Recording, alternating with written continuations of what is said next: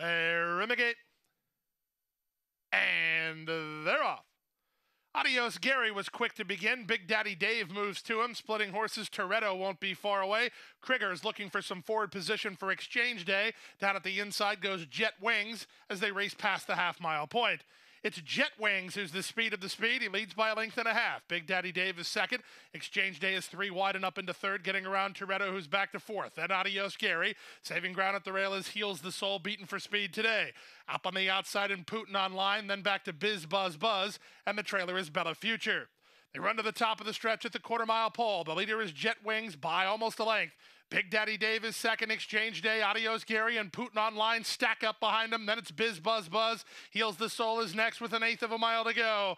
Jet Wings is still on the lead, but he's on borrowed time. Down the center, Putin online. Biz Buzz Buzz, Adios Gary. Adios Gary surging forward. Biz Buzz Buzz gets a seam. Here's Biz Buzz Buzz posing for the picture. Adios Gary second. Putin online third. Close fourth, either Bella Future or Toretto in 56 and 2.